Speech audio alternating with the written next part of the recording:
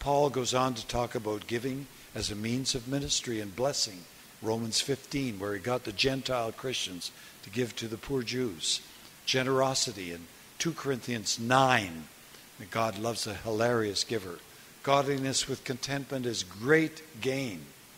Not to trust in riches, uh, laying up for ourselves a firm foundation for the coming age.